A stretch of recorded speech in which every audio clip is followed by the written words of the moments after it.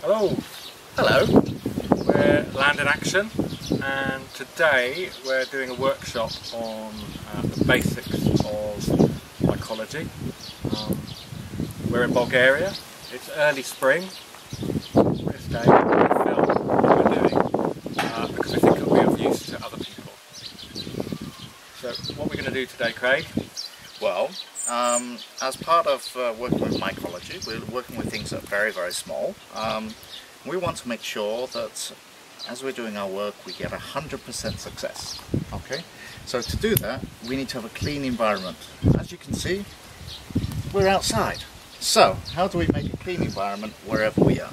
So we're going to make a small um, fume cabinet for all intents and purposes uh, that people can make from uh, standard equipment that they can find in any shop uh, close by and this will allow them to actually um, do mycology at home without having to in a sterile in a sterile environment without having to rework their entire house Okay.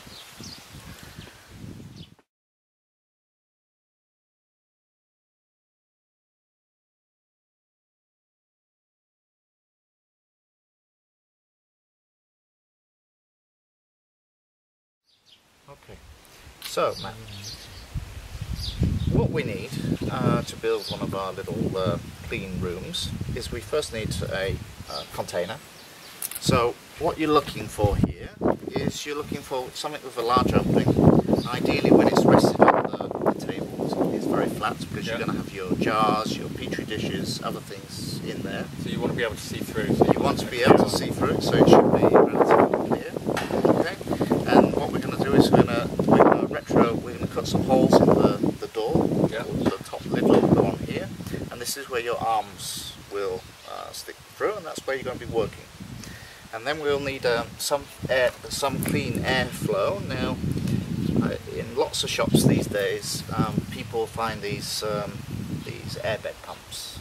Um, they're ideal. They're low cost. Camping um, shops. camping shops, uh, hardware stores, these sort of places. They're uh, they're very low cost. Um, they're uh, and they've got a good hefty airflow. Okay. Um, ideally, you want to make sure you get a, a mains power supply version and not ones that just go and into plug the into the car. Okay. Um, now we're going to look at um, we're going to look at mounting this. This is a, a HEPA filter. Okay. This the idea behind this is to um, remove microparticles from the air. So other spores that are floating around in the air, other uh, mold spores, the, the kind of things that we don't want. Yeah. Okay. and they're everywhere. They're the time, everywhere. everywhere. You're, every time you're breathing in, you're probably breathing in hundreds of different spores. Right. Okay.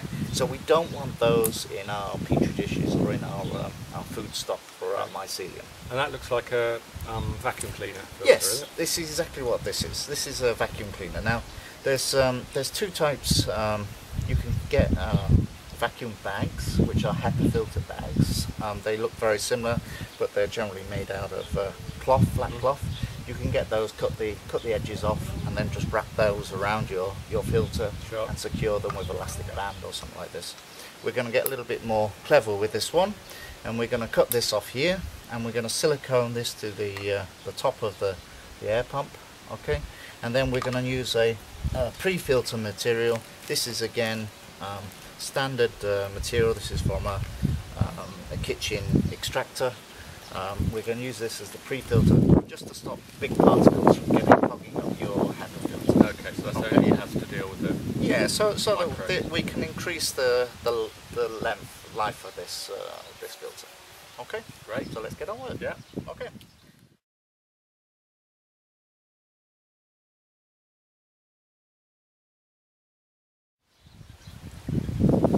As we said earlier, we, we're looking for things that we can use, we, people can find readily available. Okay, so um, there's a lot of products out there now that use HEPA filters. There's uh, HEPA filters in cars, there's HEPA filters in vacuums, and the reason they're using these is they want to remove microscopic particles down to nanoscale, so that people who suffer with hay fever or who are allergic to sort of these um, these particles um, can remove that from the air.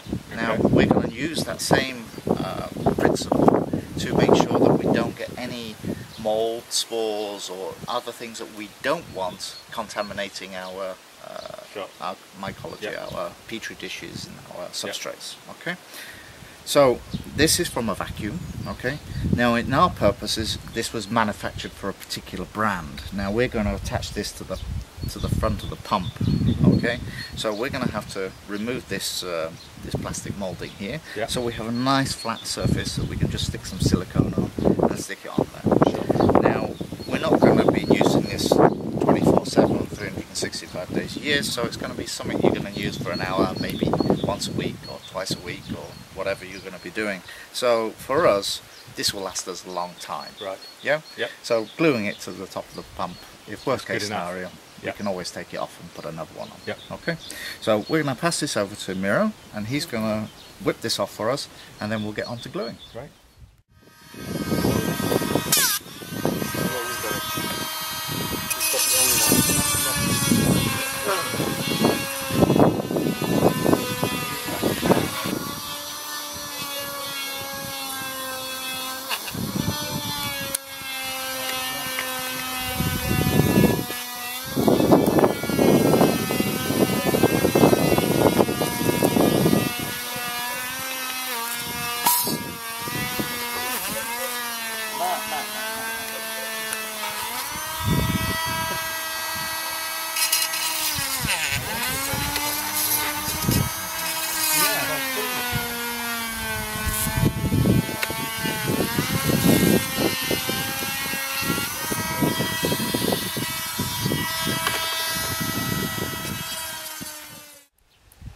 Okay, so Miro's now taken off the uh, plastic that was here. So what we're going to do is mount this using silicone.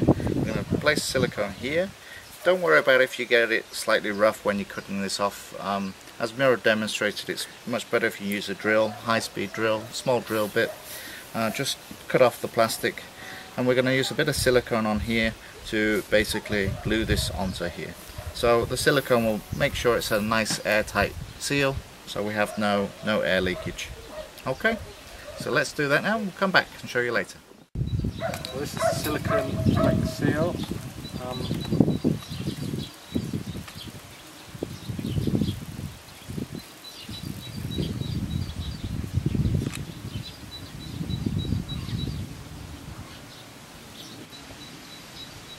from uh, bitter experience, I know that this continues to discharge after you stop squeezing the trigger, and then you have to have something on hand for that blob, otherwise you get it all over the carpet or over the tiles.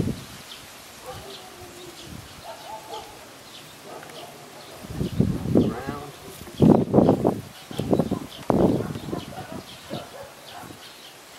I didn't read what's the setting time for this.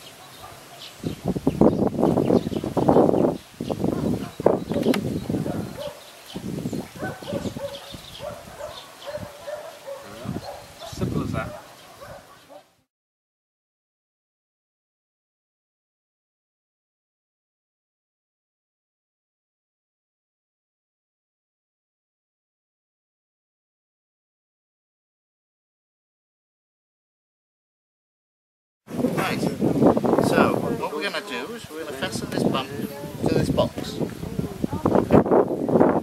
we're going to measure this here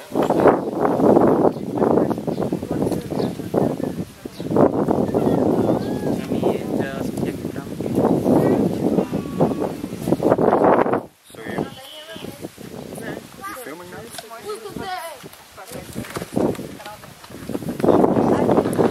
Good to go. Okay, so um, We'll uh, cut a hole here and we'll mount this uh, this pump onto here so that when we're working it's pumping fresh clean air into the box.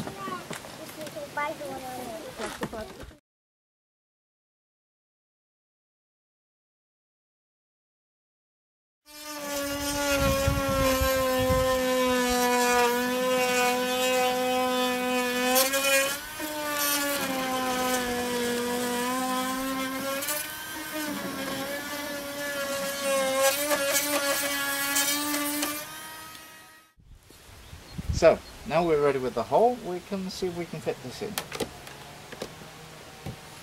Okay, nice tight fit. Okay, so we're good to go.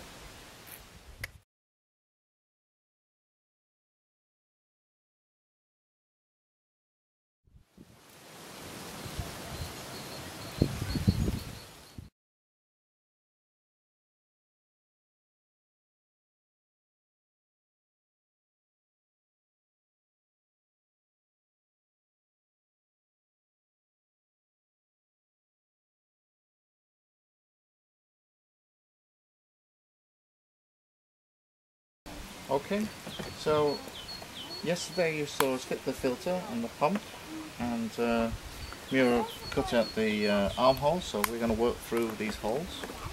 So now we're going to fasten this uh, this door onto the front of this, this box so that uh, you can access it, you can put all your equipment and everything you're going to need for your work um, inside and then close it so that all the air pressure comes out through these holes so all you're getting is clean air passing out through the box.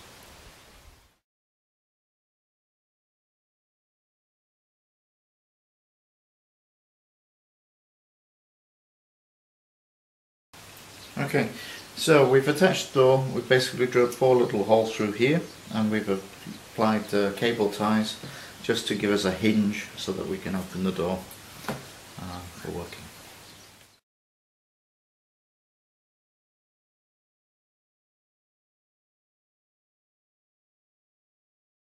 Okay, so Mira's now fitted our, our door. Now we're going to put a, a pre-filter onto the HEPA filter that we prepared yesterday. So we'll just cut a piece of, um, uh, of uh, extractor filter that you have in the kitchen um, to place this around the, the HEPA filter. So, and we will use this um, and we'll just secure this with a couple of uh, elastic bands just to make sure that it stays in place. Easy as that.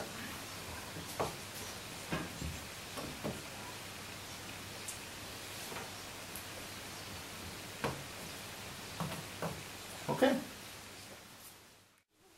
Okay.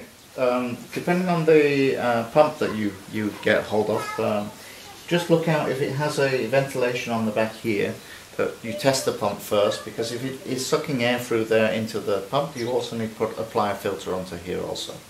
Okay? So we're going to use this for now. We don't have another HEPA filter. So we'll just put a pre-filter because the suction on here isn't very strong so okay? You're going to make me you're going to record me doing this now huh? Yep.